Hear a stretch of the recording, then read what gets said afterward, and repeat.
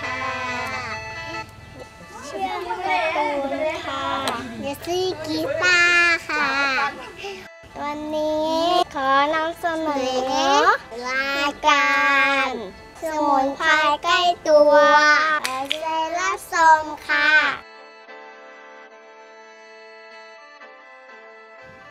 สวัสดีครับ ท่านผู้ชมทุกท่านครับ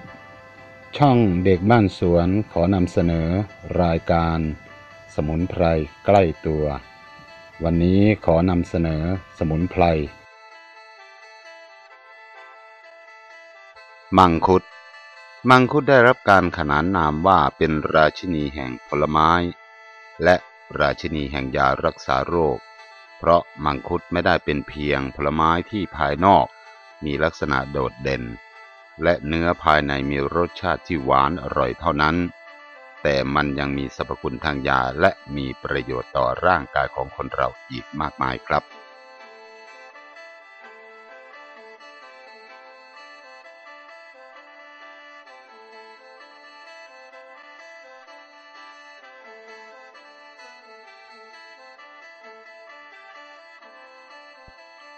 ลักษณะทั่วไปของมังคุด มังคุดเป็นต้นไม้ไม่ผลัดใบในเขตร้อน เป็นไม้ยืนต้นขนาดกลางถึงขนาดใหญ่ สูงประมาณ 10-12 เมตรลำต้นมีลักษณะกลม เปลือกสีดำ มีกิ่งก้านแตกออกมา ตั้งแต่ระดับล่างๆของต้น ทรงต้นเป็นพุ่มหนาทึบรูปกรวย รากค่อนข้างลึก มีทั้งรากแก้วและรากแขนง เนื่องจากรากสามารถใช้ ไปได้ลึก ดังนั้นเมื่อโตเต็มที่แล้วมังคุดสามารถทนทานต่อความแห้งแล้งได้ดี ใบใบมีลักษณะเป็นใบเดี่ยว รูปรี รูปไข่ เนื้อใบค่อนข้างหนา ผิวใบสีเขียวเข้ม หรือเขียวอมเหลือง เรียบเป็นมัน ท้องใบสีอ่อนกว่า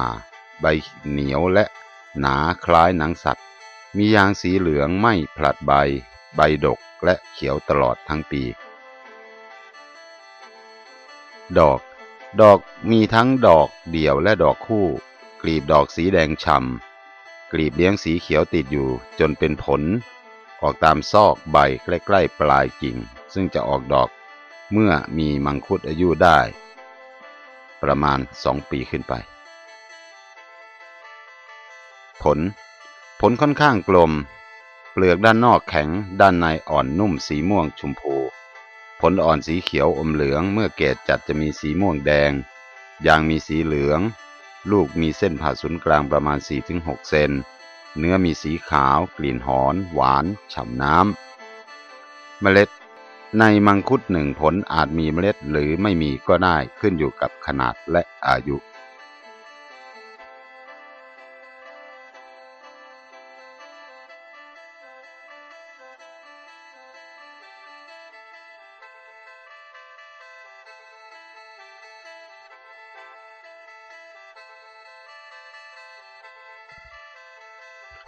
ประโยชน์และสรรพคุณของมังคุด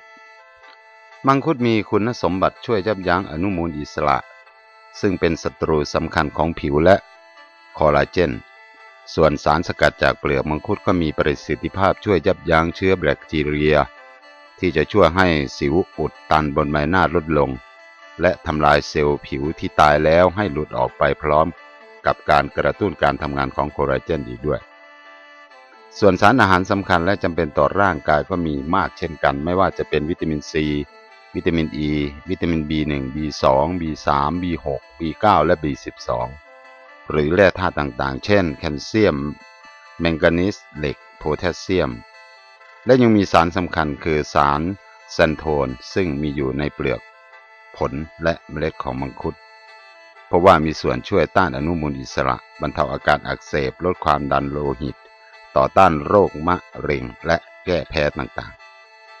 ๆ สารสกัดจากเปลือกมังคุด มีผลต่อการเพิ่มจำนวนเม็ดเลือดขาวชนิด TS1 และชนิด S17 ซึ่งสามารถช่วยกำจัดและป้องกันมะเร็งได้หลายชนิด นอกจากนี้แล้วสารสกัดจากมังคุดสามารถนำไปใช้เพื่อช่วยยับยั้งการแพร่กระจายของเชื้อ HIV ไม่ใช่เป็นการรักษาหรือป้องกัน แต่เป็นเพียงการทำให้เชื้อไม่สามารถลุกลามต่อไปได้เท่านั้น มังคุดมีประโยชน์ต่อสุขภาพจิต การกินมังคุดเป็นประจำจะทำให้อารมณ์ดีจิตใจดีช่วยลดความเครียด และป้องกันการเกิดโรคซึมเศร้าทำให้ร่างกายสดชื่น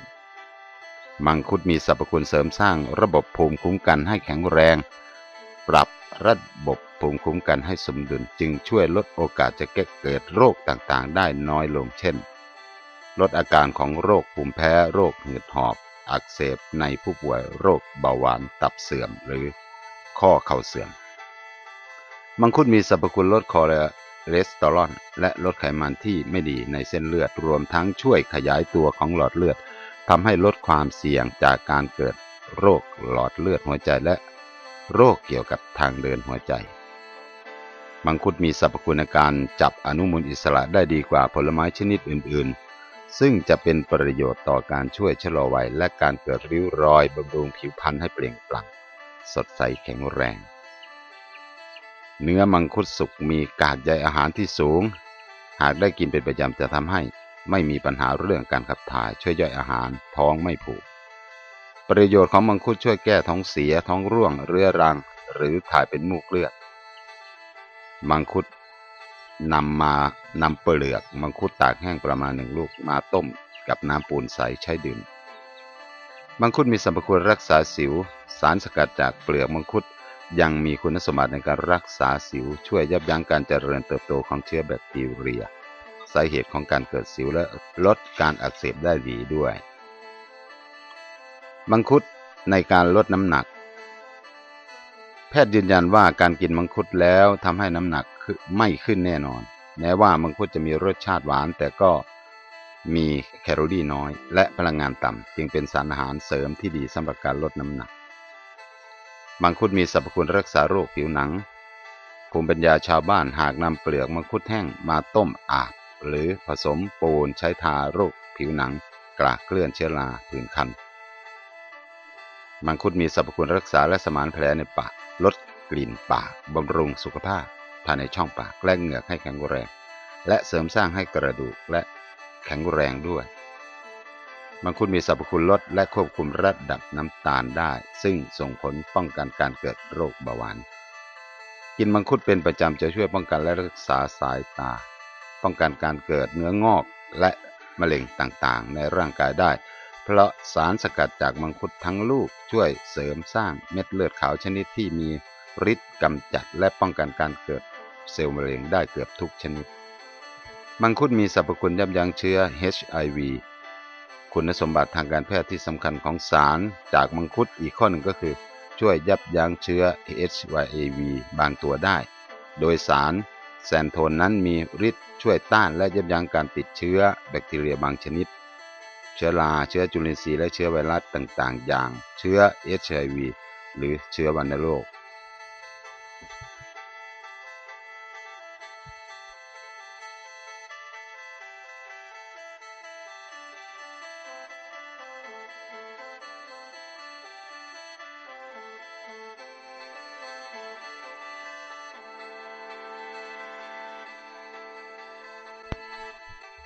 ผลิตภัณฑ์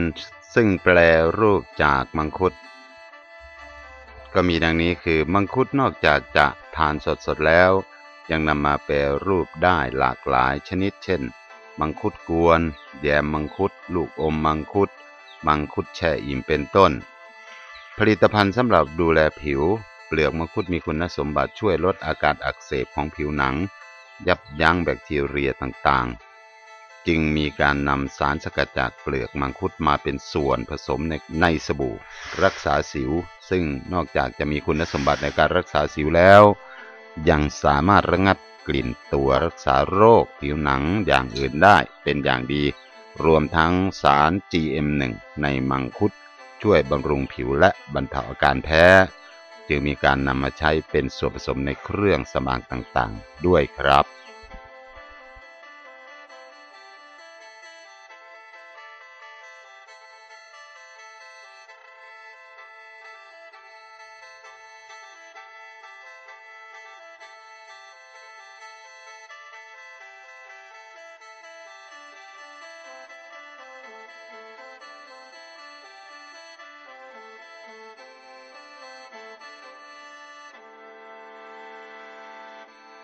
ขอบคุณค่ะที่ตาสมรีมกดไลค์ กดแชร์ด้วยนะคะ ขอบคุณค่ะ